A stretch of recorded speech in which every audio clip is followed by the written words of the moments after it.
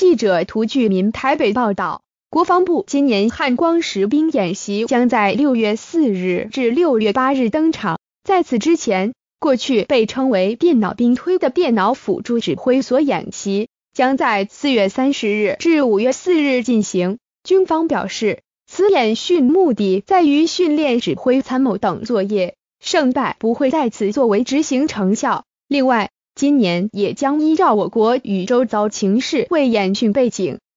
换句话说，不会再出现过去演训未来式的情形。国防部作机次长是连战处长叶国辉表示，电脑辅助指挥所演习目的在于落实整体防卫构想，提升三军联合作战训练成果，因此相关演训胜负成败不能在此论断，而相关数据可作为未来整军备战。训练的参考，训练与参谋作业都将逐年成熟，这也是汉光演习一再强调的目的。另值得注意的是，叶国辉表示，今年汉光电脑辅助指挥所的演习想定背景是在今年。